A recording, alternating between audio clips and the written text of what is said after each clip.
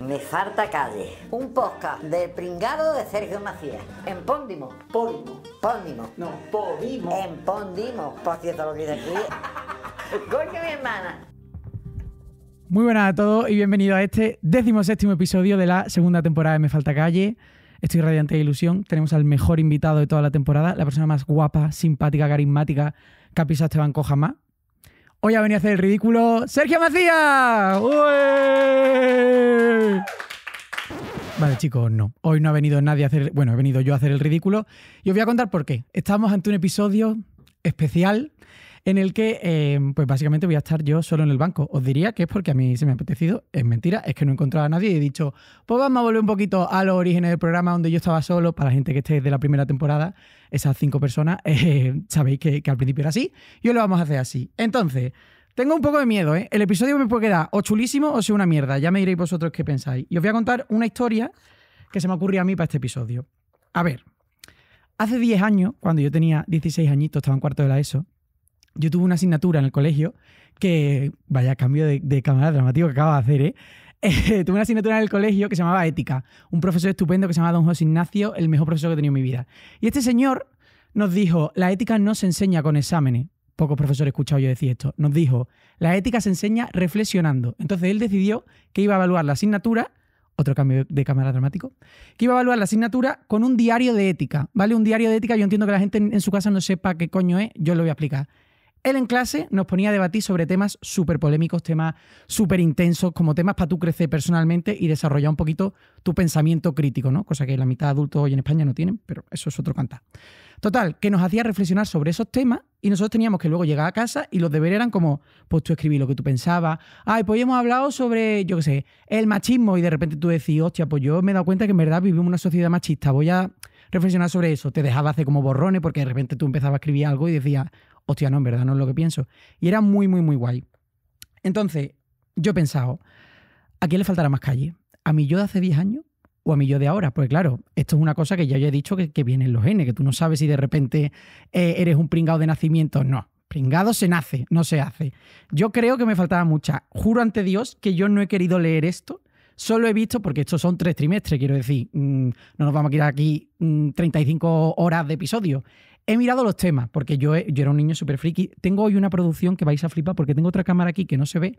A ver si la puedo ver yo en la pantallita. ¡Ea! Pues que tengo aquí el diario de ética, que yo era un pedazo de friki, porque quien siga desde la primera temporada sabe que yo en el primer episodio dije que yo tenía el síndrome del, niño 10, y era un niño que quería hacerlo todo perfecto. Entonces, el diario de ética yo me lo curré muchísimo, y me hacía unos dibujos, y todas las páginas son como mega, mega pintada. Es que tengo hasta un Martin Luther King que lo voy a buscar porque es que es una cosa rarísima. Mira, todo esto así como. Mmm, hay todos los títulos con colores, con bolígrafos. Mítico niño estúpido. Mira, aquí la ola, una película. Bueno, que esto era un despliegue de medio y yo desaté toda mi creatividad. Entonces, simplemente, pues vamos a empezar y vamos a ver eso. ¿A quién le falta más calle? ¿Al Sergio de 16 años o al Sergio de 26?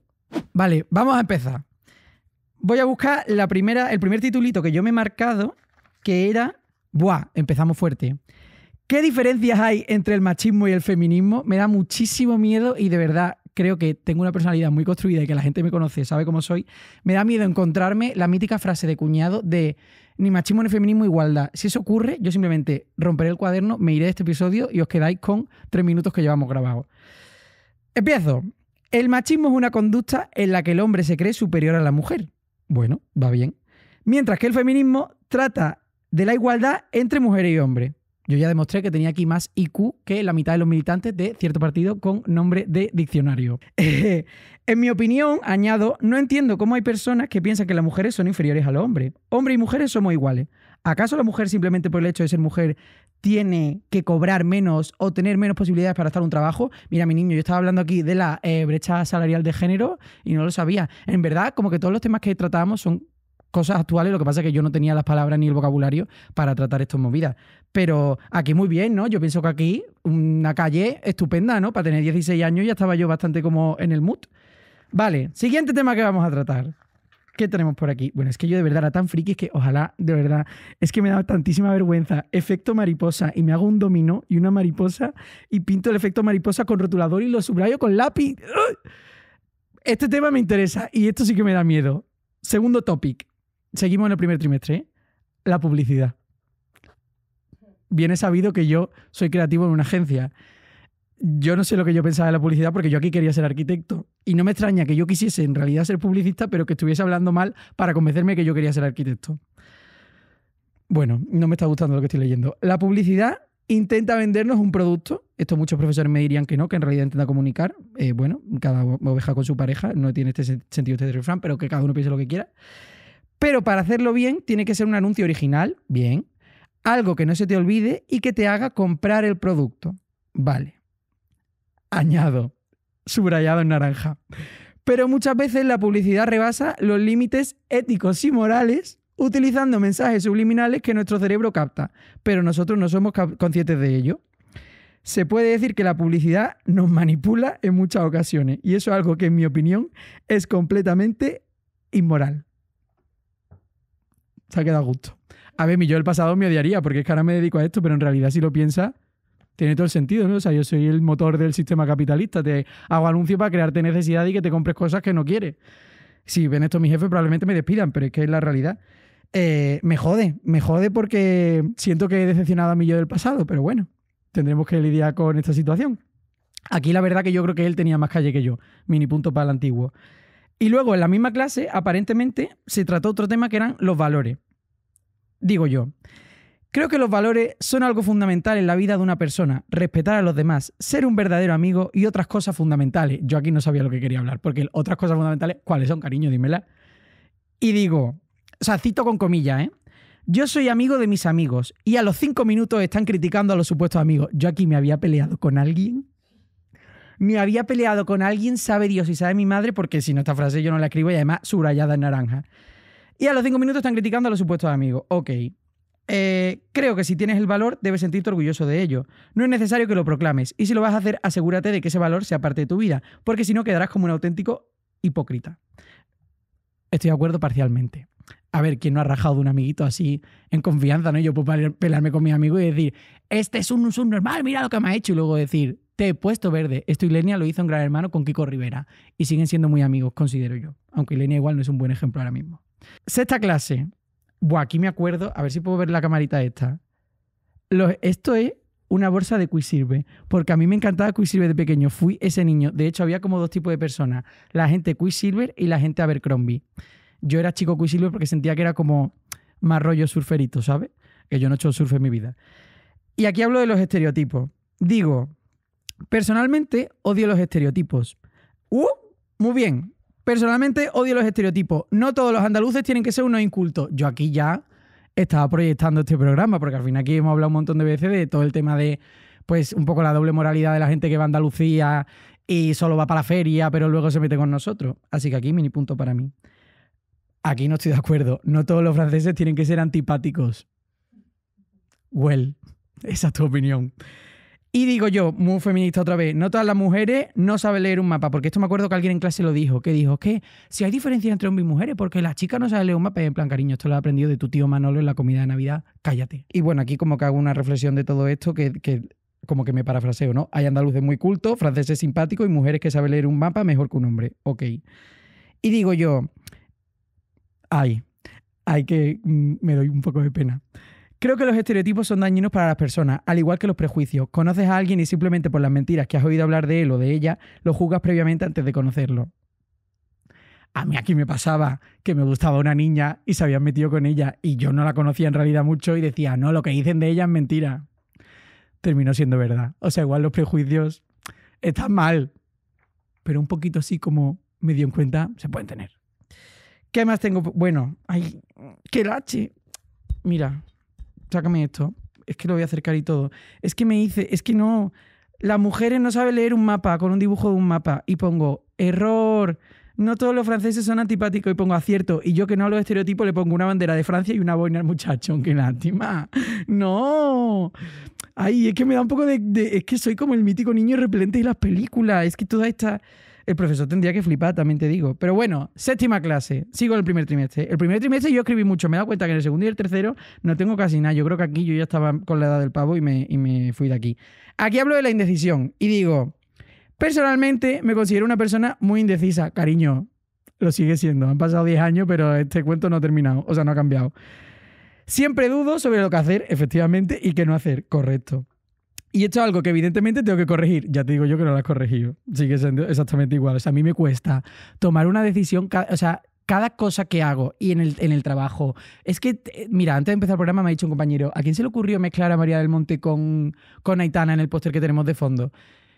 ¿Vosotros sabéis lo que yo tardé en decidir cuáles iban a ser los pósters? Porque tenían que ser los que más reflejasen. Déjalo, da igual, si la vida también es improvisar. Pero bueno, es verdad que siempre he sido muy indeciso y sigo muy indeciso. Me da coraje, ¿eh? Y la gente que es como muy decisa, no sé si decisa es la palabra contraria a indecisa, vamos a suponer. Bueno, la gente que no es indecisa, decidida, decidida, decidida.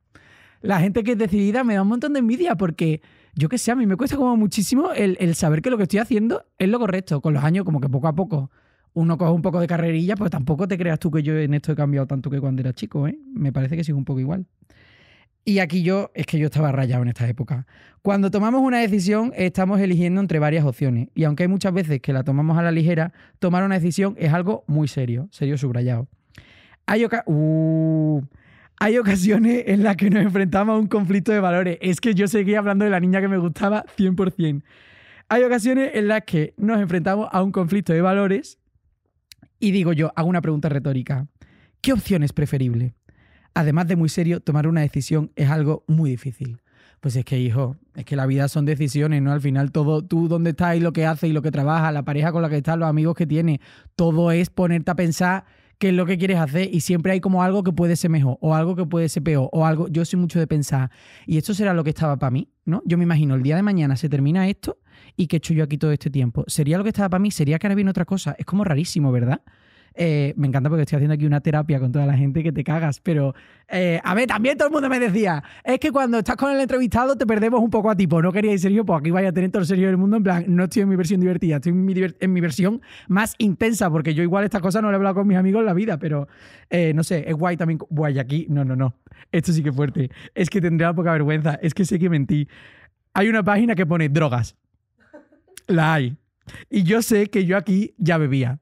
Y estoy convencido de que yo puse que no bebía para que el profesor no le dijese a mi madre que yo bebía, siendo que él nos dijo que esto era como anónimo eh, personal intransferible. Una santa polla, yo sabía que se lo iba a contar. A ver, hace unos años los adolescentes se divertían de varias maneras. Hoy en día beben y fuman. Pregunta retórica. ¿Por qué?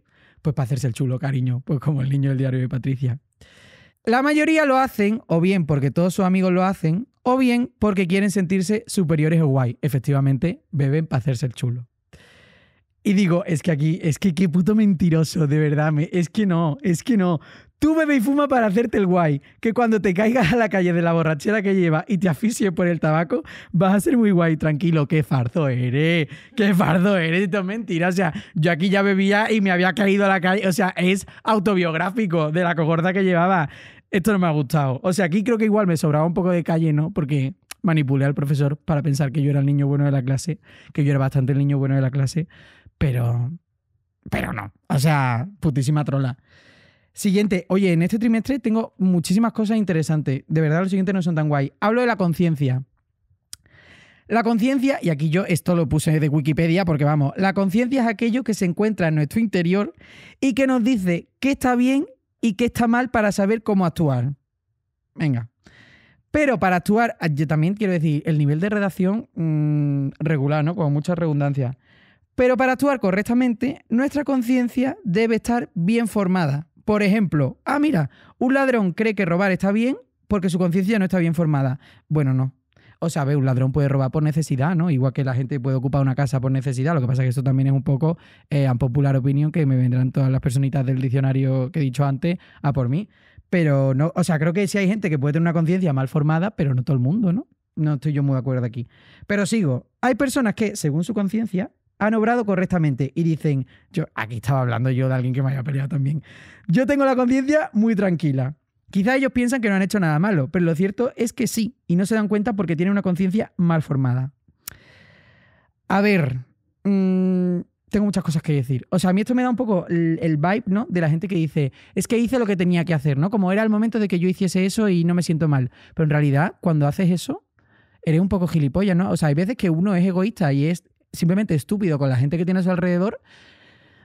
Y crecer no es darte cuenta de que has sido gilipollas, porque ¿quién, ¿quién, aprende de las cosas que hace bien? Porque tú aprendes las cosas que hace bien, pero cuando aprendes de verdad es de las que te equivocas y las que lo hacen mal, ¿no? O cuando un amigo lo hace mal y la putolía y, y, mm, hace una cosa que te decepciona a ti, aunque no sea directamente contigo, aunque sea con otra persona, pero ser idiota es parte de crecer. Pero vamos, yo esto lo escribí porque estaba enfadado con alguien, eso 100%. Porque lo de yo tengo la conciencia muy tranquila era porque yo tenía la conciencia muy tranquila, porque yo pensaba que lo había hecho bien y que la otra persona era gilipollas. Sigue. Remordimiento de conciencia. Aquí está menos currado el dibujo, tengo que decir. ¿eh? Digo, cuando sabemos que hemos actuado mal, ah, mira, nos reconcome la conciencia y necesitamos hacer algo para sentirnos bien. Puede parecer una tontería, lo parece. Pero la conciencia no muerde, remuerde. De ahí remordimiento de conciencia. Yo jugué con el juego de palabras. Es que la persona más lista de España. Quizá esto es porque el remordimiento de conciencia es uno de los dolores más. Uy, uy, uy, uy, uy, pero ¿qué había hecho yo? Quizá esto es porque el remordimiento de conciencia es uno de los dolores más fuertes que existen. Porque es un dolor que, por favor, por mucho que quiera, no puedes parar de pensar en él, en aquello que has hecho mal. Pero ¿qué había hecho yo con 16 años? Pues si yo aquí ni salía, ni había tenido novia, ni nada, era un putísimo loser. Yo algo tendría que haber. Es que no me acuerdo. Yo la, algo habría hecho mal que a mí me reconcomía, no sé qué sería, habría copiado en un examen porque yo me sentía muy mal y sudaba mucho, porque si no, no lo entiendo. Pero interesante topic, porque en realidad aquí lo que yo estoy hablando, sin saber que estoy hablando de eso, es del el término que yo más odio, que lo sabéis por el episodio con Dani, responsabilidad afectiva. Porque la gente lo usa un poco al tuntún y a mí me da mucho coraje. Hay que ser responsable afectivamente y lo que digo aquí es verdad, porque si tú eres responsable afectivamente, sí que, vamos para atrás, puedes decir, yo tengo la conciencia muy tranquila y tenerla de verdad. Si tú no eres responsable efectivamente, efectivamente la gente va a pensar que eres idiota. Yo esto le daría un, le daría una vuelta, pero me parece que lo que estoy diciendo tiene sentido, aunque se nota que está completamente sesgado por mi posición de adolescente puberto del momento. ¿Qué más? ¡Oh! La vamos a liar. El mundo taurino. Yo no, no, yo, mm, yo no sé qué pensaba yo. Yo en este momento de mi vida soy una persona completamente abolicionista de la tauromaquia. Me parece que el sufrimiento animal es una cosa detestable y no me gusta nada la gente que va a los toros. Y pienso que es una cosa completamente despreciable. Lo siento si alguien se siente ofendido, me coméis la polla. En plan, es lo que pienso y me da igual lo que la gente diga. Pero no sé lo que pensaba con 16 años, porque en Andalucía es verdad que en ese momento, quizá yo ahora te diría que menos, aunque la gente piensa que mucha, muchísimo menos, había una tradición como bastante mm, solidificada de este mundo. Y me da miedo enfrentarme a este pensamiento. Igual corto esta parte, porque me da miedo saber lo que yo pensaba. Ah, no. Personalmente no soy... estupendo. Personalmente no soy aficionado al mundo del toro. No me gusta ver como espectáculo la muerte y sufrimiento de un animal. Pacma. Yo era Pacma de pequeño. Las corridas de toro son una tradición en España desde hace muchísimo tiempo. Y hay gente a la que le apasiona. ah, che, por lo que a mí no me guste no significa que deba desaparecer una mierda. Una mierda, una putísima mierda. Aquí sí que me faltaba calle. O sea, no, no, no, no estoy nada de acuerdo. Eh, las corridas de todo deben desaparecer. De hecho, en los sitios donde han desaparecido me siento completamente orgulloso. En Cataluña las quitaron y, y me pareció un avance de locos. Eh, o sea, no se puede. Tío, tú no puedes coger a un toro y matarle porque tú mm, tengas un momento de, ocio y recreo. Picha, vete, eh, yo qué sé, a la playa, vete al cine, vete a jugar a los bolos, vete a darte chocazo contra una pared, pero no mates a un toro, cojones. Eh, no, aquí no me gusta. O sea, me gusta porque yo creo que estaba un poco en la transición, ¿no? Porque yo decía, es que yo sé por qué decía esto. Em, hay gente de mi familia a la que sí que le gustan los toros y entonces yo creo que estaba en el punto de, me estoy dando cuenta de que lo que me han enseñado, que es un poco lo que el diario quería, ¿no? Como enseñarnos pensamiento crítico. Yo me estaba dando cuenta de que lo que a mí me habían enseñado en mi casa no era lo que yo pensaba como ser individual, pero no quería llevarle a la contraria a lo que la gente de mi alrededor decía. Yo creo que por eso decía esto. También te digo, me parece como natural, no es un poco parte del proceso. Ahora mismo lo detesto y antes pues, lo detestaba, pero lo respetaba. Seguimos. ¿Qué tenemos? Bueno, ay, ay, ay, ay, ay. Dibujo, dibujo. Tenemos dibujo. Hice un montón de manzanas verdes y una manzana roja y puse, se ríen de ti porque eres diferente, ríete tú de ellos porque son todos iguales. Kurt Cobain. Bueno, artista, poeta. Aquí, bueno, aquí yo me acuerdo de esta clase que tenía como un montón de cosas que eran muy interesantes no sé si este episodio está siendo divertido o no. Yo estoy contando mi vida. Feel free de decirme que es una mierda, ¿eh? Pero si te gusta, valoraros. Que en Spotify hay cositas para valorarlo. En, en Podium hay cositas para valorarlo. ¡Ay, Vero! ¡Guapa eres, hija! Me ha dicho mi jefa. Buenísimo. Estupendo. Vale. Eh, abro topic. Es que, ah, me, es que me voy a poner rojo porque esto mm, yo sé en el punto de mi vida en el que estaba en este momento. Hablo de segundas oportunidades. Me la tranquiliza. Digo, ¿se merece todo el mundo una segunda oportunidad? Ah, estoy de acuerdo. Yo creo que no. Creo que cuando alguien te ha traicionado, ah, no, perdón, alguien ha traicionado a un amigo o a su pareja, pues si tú no tenías pareja aquí, ¿de qué estás hablando? Ha demostrado que quiere muy poco a esa persona. Y creo que él la ha traicionado traicionada, yo era súper inclusivo de pequeño, no debería de darle una segunda oportunidad. Ay, me cago en mi muerto. Y no, no, no, no, no, vais a flipar con lo que dice. Eh, es que puse, es que es muy fuerte, puse un título que pone, ¿de verdad crees que pienso así? Y ahora, o sea, yo escribí eso porque pensaba, o sea, porque pensaba que pensaba eso y me autocorregí a mí mismo la libreta y digo, obviamente lo escrito arriba, es completamente falso en mayúscula.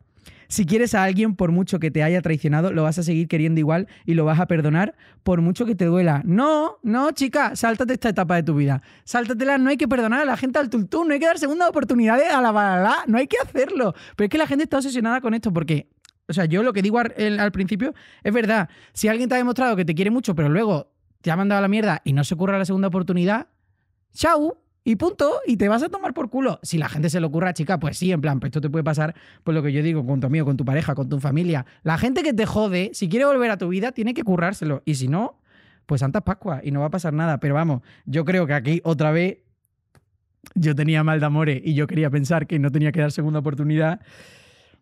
Y luego pues me autocorregí. Una, una tarde mala en mi casa tendría yo, te diré.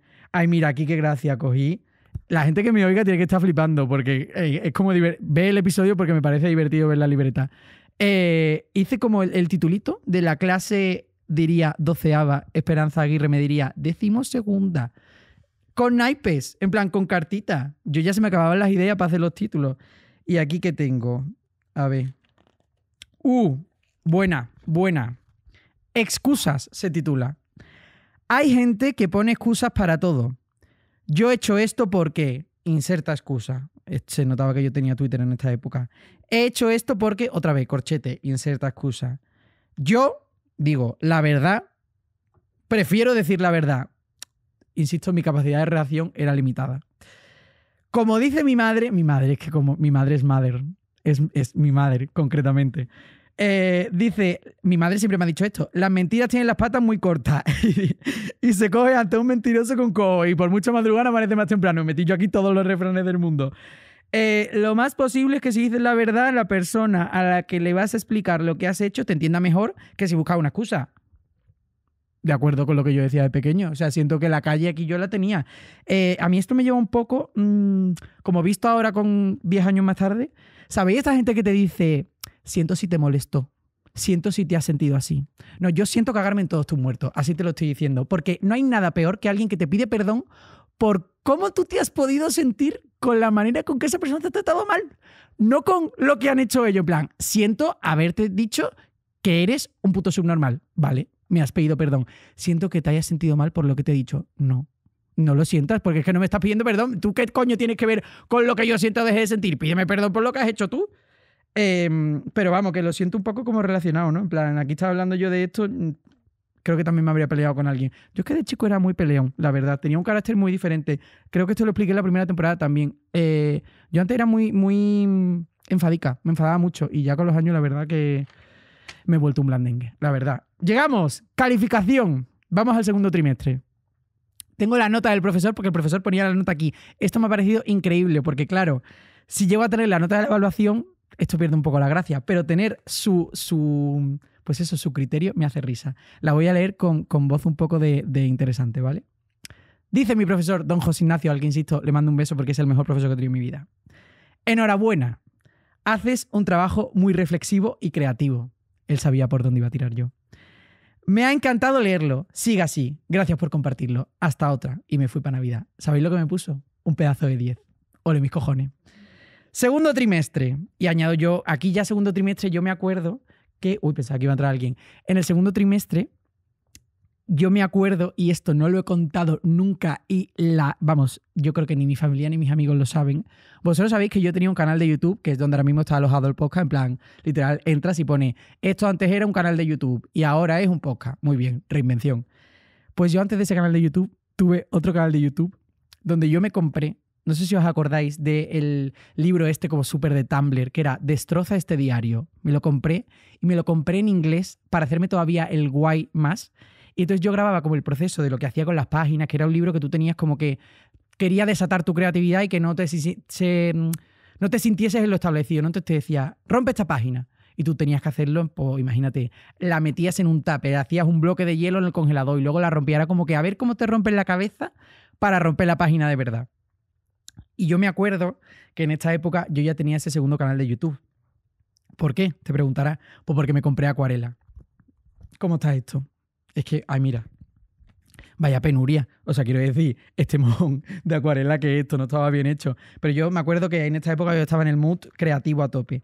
Aquí hay una clase de la huelga. Esto no me parece interesante porque me acuerdo que en el colegio se lió y no quiero destapar yo los entresijos de mi colegio. ¿Qué más tenemos por aquí? Este trimestre es menos interesante, ¿eh? ya os lo digo. Mucho mujeres y hombres, no los viceversos, sino lo de machismo y feminismo, esto se trató mucho. Esto vamos a tener que piselarlo arriba porque hay esvásticas de cierto. Eh, cierta. cierto movimiento europeo regulero. Entonces, esto, chao.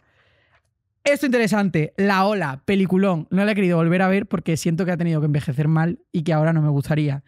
Pero una peli muy chula que nos puso el profe. El segundo trimestre mi profesor se puso cinéfilo. Parecía Danima Fly de repente. Em, y nos puso una película que se llamaba La Ola. Y la película trataba de un profesor precisamente que quería enseñarle a sus, anuncios, a, sus anuncios, no, a sus alumnos, cómo podía volver en, ese momento de la historia un régimen dictatorial. Y entonces, efectivamente, el, profesor, bueno, voy a hacer spoiler, ¿vale? Si no, pasa un poquito. El profesor lo consigue y crea un régimen dictatorial dentro de su clase. Entonces, voy con lo que yo digo. Digo, sinceramente, no sé por dónde empezar porque esta película me ha dejado sin palabras. Él, el más cinéfilo del grupo. El otro día, sí, no me puedo creer que yo pusiese esto, qué puta vergüenza. El otro día, sin ir más lejos, me preguntaron por ask.fm. No, ¿por qué lo puse? Una red social. Lo, explico que yo aquí se lo explica al profesor, para mi madre también lo entenderá. Una red social en la que tú respondes a lo que otros te preguntan y yo recibí esta pregunta, redactado regular. A ver, antes de leer la pregunta, AskFM era esto los niños chicos lo siguen teniendo y hay gente en Instagram que lo sigue utilizando y por favor os pido que lo dejéis de utilizar porque es la cosa que más lache me da del mundo. Era un sitio donde, sí, una plataforma, una red social donde te hacían preguntas que básicamente era para tú hacerte el guay. En plan, ¿es verdad que te has liado con no sé quién? Y tú, jaja, no sé por qué dices eso, si somos amigos. Y tú luego le pasaba captura y decía, mira lo que me han dicho. ¿No será que tú y yo nos queremos liar y yo no me he enterado? Era un poco de esto. Mm, yo buscaba aquí la validación externa, la verdad, no os mentiré. Eh, regular esto. Aquí, calle, he perdido 30 puntos de repente. Y entonces la pregunta que me hicieron a mí en Askf, bueno, no me hicieron esta pregunta, esta pregunta venía predeterminada, porque nadie me va a preguntar cuál fue la última película que te hizo pensar. No, esto ya venía de la aplicación porque tenía una pregunta que te hacía sola. Y añadí yo de respuesta, la ola. Ahora vivo con el miedo de que algún princado lleve una pistola a clase. Ja, ja, ja, ja, ja el humor ha cambiado. Es lo único que puedo decir. No me parece tan loco lo que decía la película. Tengo un montón escrito, no voy a leer más porque tampoco es plan de, de, de aburriros. Pero, ¿verdaderamente? ¿Estamos tan lejos de un régimen dictatorial? Considero que no. Quiero decir, un beso a toda la gente de Argentina. ¡Oh! Sigo, sigo, de que esto me parece chulo, porque hice como frases de la película. Entonces yo para comentarlo digo, debemos tener cuidado y sobre todo si somos muy influenciables, porque podemos acabar guiados por alguien que nos lleve por el mal camino. Esto es la juntera que me han dicho mi madre toda la vida. Tú tienes que saber con quién te junta y con quién no te junta, porque si no, es un poco lo que se dice también, ¿no? Quien duerme en el mismo colchón se vuelve en la misma condición. Poco con los amigos pasa un poco igual. Aunque yo creo que también si tienes su personalidad suficiente no te tiene por qué pasar, porque yo con mis mejores amigos me parezco, pero en verdad no tengo nada que ver. Entonces, pero es verdad que son gente de bien, son buenos muchachos lo mítico, ¿no? Siempre saludan, no se drogan, estas cosas. A ver qué más tenemos por aquí. Eh, aquí derechos humanos. Wow, wow, wow. Se puso intenso el trimestre. ¿eh? A ver. Ah, mira. Mira, mira, mira. Esto me parece guay. Eh, bueno, por supuesto, antes de nada voy a enseñar otra vez dónde está el dibujo, pon, pínchamela, eh, esta es. Eh, Education is a better safeguard of liberty than an standing army. Everett, que yo no sabía ni quién era. Y me hice yo, aquí, yo aquí ya utilizaba Pinterest y vi como que el uso de distintas tipografías era algo súper creativo y decidí implementarlo en toda mi vida. Una vez más, me estoy dando bastante lache. Es que los dibujos son lo peor, porque las reflexiones tú lo piensas y dices, tienen sus cosas, pero los dibujitos, too much. Pero bueno, eh, nos puso una película que se llamaba Filadelfia. Y la película trataba de, a ver si me acuerdo, era un abogado de Estados Unidos en los años 80 que era homosexual. Y le echaron de su trabajo cuando se enteraron de que era homosexual y que tenía SIDA. Entonces hablaba un montón pues, del colectivo LGBT, de, mm, de, pues, de todo el tema del SIDA, de cómo se vivía en los 80 en Estados Unidos. Y fue muy, muy chula. Entonces yo aquí reflexiono sobre la discriminación. Y digo, en la película se muestra cómo al descubrir que era homosexual, sus compañeros cambiaron su conducta hacia él. No solo lo discriminan por ser homosexual, sino que también descubren su enfermedad. Esto no tiene mucho sentido. Bueno, pero es que aquí es lo peor que pongo yo. Enhorabuena, sociedad, te superas cada día. Y pongo en paréntesis, no te sé la ironía. Ay, qué pena. Y hice como un dibujito de, de un diablito para que se notase que yo estaba enfadado. Sigo hablando de discriminación y digo, discriminación es una palabra que nos afecta a todos, porque si vemos que alguien está siendo discriminado y no hacemos nada para evitarlo, estamos apoyando esa discriminación. Toda la razón. Y en cosas grandes como la que hemos comentado de, que echaron a esta persona porque se descubrieron que era homosexual, pero en cosas más pequeñas también. O sea, seguimos mm, viviendo en un sistema en el que de repente solo lo que forma parte del heteropatriarcado es correcto, ¿no? también me siento. Hay una cosa que me pasa, que hablo con muchos amigos míos que me dicen, te mojas poco de, de ciertos temas. Yo siento que, aunque tengo una plataforma grande y como un altavoz grande, una ventana, por así decirlo, siento que no soy quien para hablar de muchas cosas. Por eso muchas veces me da miedo. Hoy he encontrado esta excusa, porque al final es como reaccionar a lo que yo pensaba de pequeño, pero a mí me da, y esto lo comparto con vosotros, hoy que estoy solo en el banco, porque puedo mostrarme como más vulnerable, ¿no? Pero hay veces que digo, no quiero ir de aliade, no quiero ir de cosas que puedan sentar mal a la gente, por más que mi opinión sea progresista, porque no sé si soy la persona que lo puede hacer, pero luego pienso, es que igual la gente, pues los chavales mm, también heterosexuales más pequeños necesitan, no creo yo que sea referente de nadie, pero necesitan escuchar hablar a alguien con el que se sientan identificados no porque no te puedas sentir identificado con una chica, porque la mayoría de referentes para mí son mujeres, pero como alguien en el que se puedan proyectar y ver lo que piensa esa persona, ¿no? No sé si me he explicado. Esto que yo digo está muy guay porque en Andalucía tenemos un programa súper chulo que se llama Gente Maravillosa, donde se tratan eh, pues estos temas de discriminación, ¿no? De repente alguien se mete con una persona eh, porque tiene una discapacidad, o alguien se mete con una persona por su condición física, alguien se mete con una persona por su condición sexual, por su orientación, por su identidad de género, y siempre sale una persona maravillosa, como ellos dicen, a defender a, a la persona un poco mm, maltratada, por así decirlo, y luego le traen un ramo de flores. Yo tengo que decir, esto me da un poco de vergüenza, pero lo voy a contar. Yo vivo, o sea, para mí la vida es eso que pasa entre que yo recibo por fin mi cámara oculta de gente maravillosa y no la recibo. Y una vez, voy bien de tiempo, ¿no? Lo voy a contar. Una vez, yo ya, vi, yo ya vivía en Madrid. ¿Qué quiero decir? Para vivir en Madrid no iba a venir gente maravillosa si es un programa andaluz. Vale. Pues yo vivía en Madrid y de repente un día salí como por la calle y me encontré un taxi con eh, unas chicas que estaban bajándose del taxi peleándose con el taxista. Porque no sé qué, porque nos has tratado mal, porque nos quería estimar, porque no sé cuánto. Y entonces yo dije, no, no, no, esto no está pasando de verdad. Esto es una cámara oculta de gente maravillosa. Y yo pensé que iba a aparecer Toñi Moreno con su ramo si yo hacía un acto de buena fe y yo estaba cagado, me temblaban las piernas, pero me metí en plan momento héroe. ¿Qué está pasando aquí? No sé qué. Y me puse a defender a las chicas. El taxista se piró porque se cagó vivo. Y luego las chicas me dijeron que lo que habían hecho era engañar al taxista para, para no pagarle. Y contribuía a un timo. Y no tuve ramo de flores de Toñi Moreno. Y me ha pasado más veces de yo pensar que era mi día, que Toñi Moreno iba a venir y Toñi Moreno nunca viene. Y yo esto me afecta y me duele, porque yo quiero ser una persona maravillosa acreditada. Si alguien ve esto de gente maravillosa, por favor, gastame una cámara oculta. Si yo siempre estoy pendiente, lo, lo voy a hacer bien. A ver qué más tenemos por aquí. Ah, mira, nota del tercer trimestre. Uy, no entiendo. Ah, de nuevo. De nuevo mi feliz del segundo trimestre, perdón. De nuevo mi felicitación por un trabajo bien hecho. Bien. Aporta reflexión y personalidad. Ay, mira qué lindo. Algo no común, si te digo la verdad. Enhorabuena y hasta la próxima. Y a Semana Santa que me fui yo, estupendo. A ver, vamos con el último trimestre. Yo creo que ya aquí los temas no son tan chulos. No me acuerdo muy bien cuáles son los que hay. Verá tú que no puedo cerrar la libreta. Pero creo recordar que como la carnaza estaba en el, primer trimestre, que fue cuando todos tuvimos un poco más de idea de qué era lo que hacíamos y qué era lo que pensábamos. Luego lo demás me parece que fue eh, más, sin más. Acabo de ver lo que he dicho antes. Bueno, aquí, niño soldado. A ver, estoy pasando por la libreta para la gente que lo está escuchando. ¿eh? Aquí yo pinté un Martin Luther King. I have a dream. Ea. Y me quedé yo tan ancho. Toma tus cojones. Y luego añadí por detrás I have a dream. No, no sentí yo que era suficiente. A ver, violencia de género y valores. Mm. Ah, me acuerdo de esto. Me acuerdo, ¿eh? Hoy hemos recibido una charla sobre la violencia de género. La verdad es que ha sido bastante entretenida. Me acuerdo que vino una persona al, al cole a hablar con toda la clase de la violencia de género y a un poco enseñarnos cuál era la realidad. Me parece súper importante que los coles hagan esto. Al principio nos hemos agrupado chicos por un lado y chicas por otro. Y nos hemos tenido que cambiar los papeles y decir qué buscamos en nuestra pareja ideal. Digo, no sé si me he explicado bien, creo que no. Caso práctico. Muy bien, Sergio, te lo agradezco. Yo soy un chico, voy al grupo de los chicos. Ahora los chicos somos las chicas. Tenemos que, bueno, tenemos que decir que buscamos nuestro chico perfecto. Sí, que nos hicieron como, pero esto me parece horrible que nos lo hicieran, ¿no?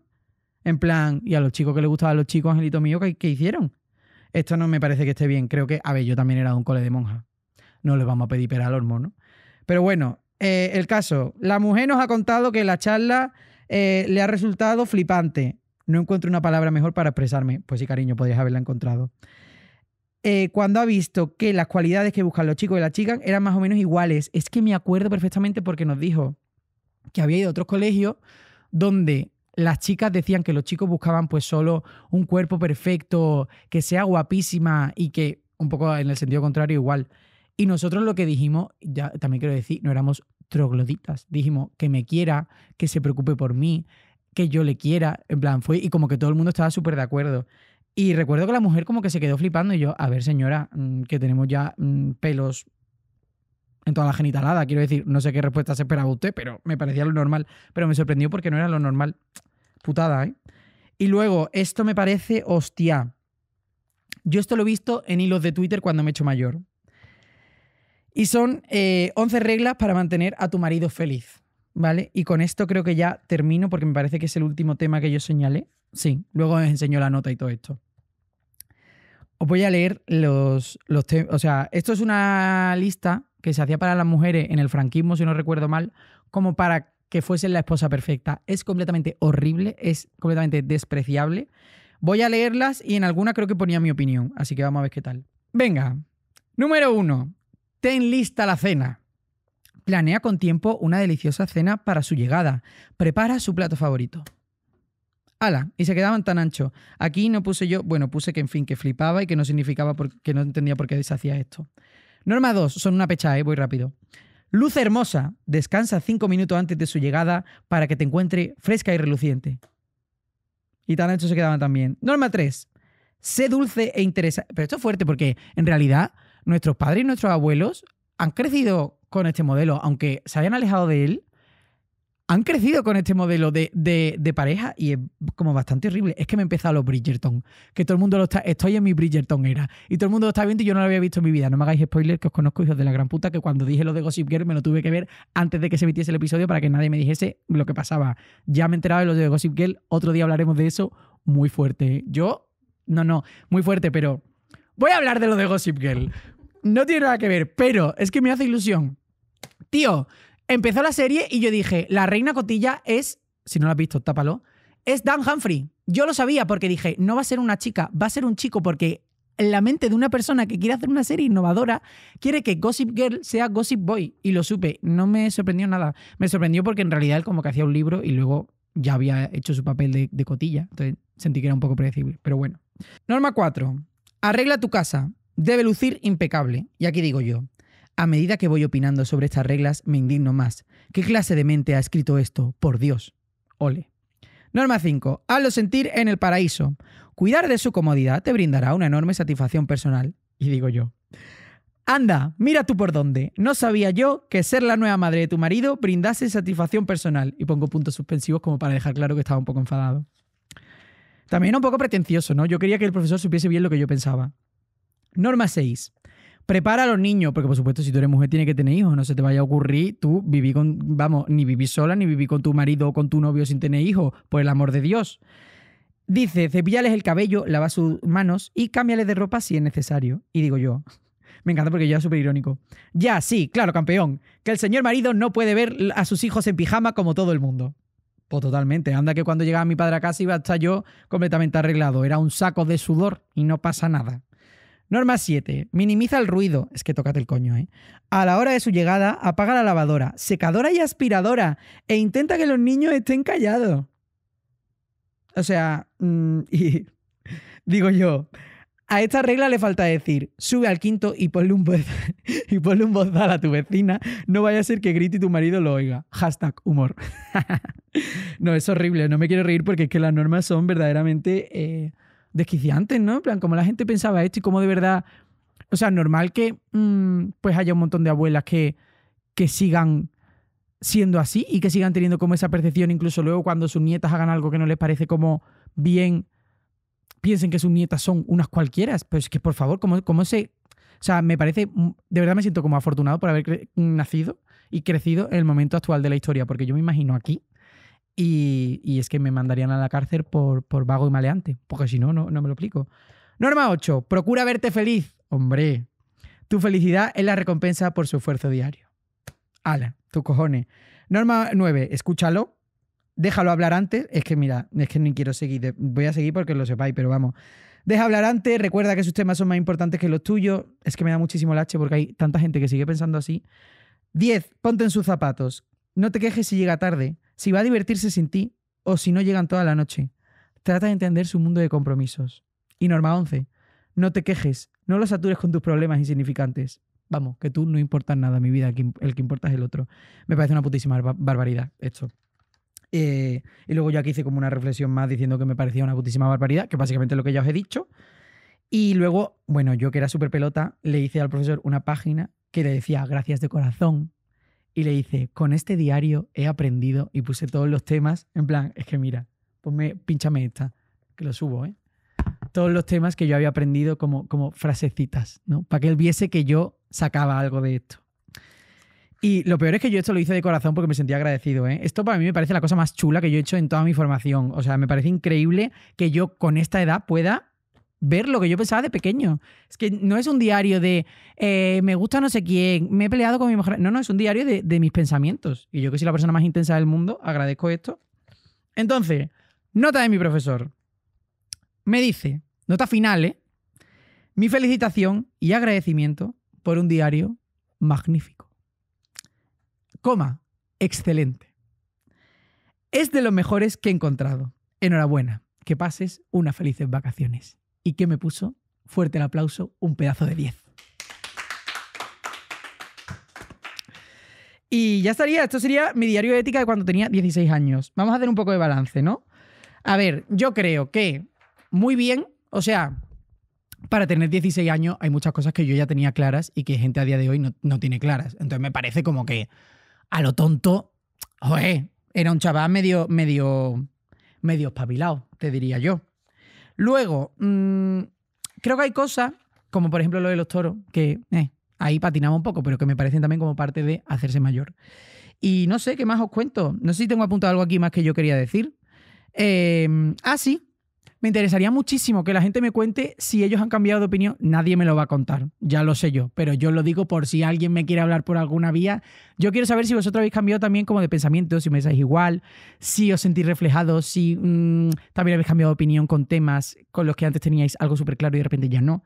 Esto me parece muy guay. Y también cómo lo lleváis, porque yo eh, abrazo este recuerdo. En plan, hay cosas que me dan vergüencita ajena, sobre todo los dibujos. Los dibujos me me han matado. O sea, los dibujos que no pueden ser más grimosos, porque encima se notaba que yo buscaba hacerle la pelota al profesor para que viese que era súper creativo y era una clase de ética, no tenía que ser creativo, tenía que ser reflexivo, filósofo. Pero me interesaría muchísimo eso, que me digáis eh, qué pensáis vosotros. y cómo lo sentís vosotros. Y no sé, espero que mm, os haya gustado este episodio, porque como es un poco diferente, yo me lo he pasado muy bien, porque tú sabes que a mí me da un micrófono y yo estoy aquí más tranquilo que nada. Quiero hacer una cosa muy chula y es que tengo un poco de FOMO. Porque yo, eh, yo vivo con el FOMO, ya lo sabéis. Yo pinté el banco, sabéis que me falta que tenemos un banco de la calle. Yo lo pinté al principio de todo, antes de, de, que la gente se sentase, pero no siento que haya dejado yo algo guay. Entonces quiero poner, me voy a marcar eh, un María Pombo, un Laura Escanes en la Resistencia. Y voy a poner las redes sociales de Me Falta Calle, pues para que todo el mundo eh, siga el programa, porque luego la gente, qué gracioso, qué gracioso, pero no le damos a follow. Entonces, voy a firmar el banco yo. A ver, ahora entiendo a los invitados la presión. Ira, ira, ira, eh, la presión que supone hacerlo en directo, porque sujetar el micro y hacer, hostia, pero es que no se puede ni abrir. Os merecéis el cielo, chicos. Estoy pintando arroba me falta calle podcast. Todo el mundo a seguirme, ya de ya, como Badgial. Todo el mundo votando, pues igual. Me falta. Ay, que no me va a caber. Calle. No quiero tapar a Paqui Peña por el amor de Dios. Podcast. Estupendo. Me ha pasado un poco, ¿os acordáis de en, en matemática matemática no tiene por qué, pero en la libreta de matemática siempre pasaba que tú escribías como el título y empezabas con la letra súper grande. Mate, mat y K se quedaba chiquitito. Me ha pasado un poco igual, pero siento que está lindo. Y la verdad, me sentí un poco en el cole, ¿no? De repente con la libreta, con el banquito. Ha sentido un poco como ese momento en el que eh, repasaba en el recreo para un examen que no te habías estudiado y que confiabas y soñabas con aprobar. Ha sido un poco eso este episodio. Pues nada, chicos, ya hemos terminado. Ya sabéis que... Mm, pues si escucháis el podcast en Podimo, sois los mejores porque Podimo es simplemente perfecto. Y mm, ya está. Nos vemos la semana que viene en el mismo sitio, a la misma hora, con mucha ilusión, muchas ganas, pero sobre todo con muy poca calle. ¡Mua!